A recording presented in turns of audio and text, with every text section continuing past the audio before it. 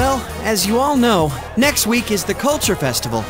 And as you also know, we still haven't decided what our class is going to do for it. you guys don't care, do you? We are going to decide based on the suggestions we have so far. Please vote for one of them. Here they are. Break area, video room, and study room. Wow. Sounds like whatever we pick, we don't need to put any effort into it. Talk about lack of motivation. Yeah, but the easier the better, right?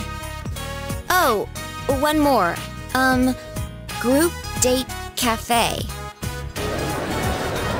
Hey, who put in a suggestion like that? Was it you, Chie? Yeah, right. Why would I do such a thing? What's a group date cafe? Who knows, but I doubt anyone will vote for it. Our class is actually a pretty serious bunch. Yeah, it's just a joke idea. You gotta have one weird one mixed in, you know? Ah, figures. We'll be passing around the vote sheet. Just circle one of the suggestions.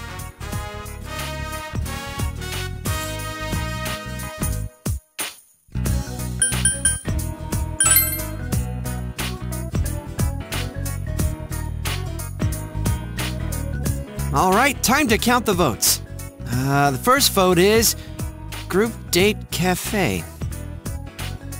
Second vote, Group Date Cafe. Huh? Seriously? Third vote, Video Room. Fourth vote, Group Date Cafe. Group Date Cafe, Group Date Cafe, Study Room, Group Date Cafe.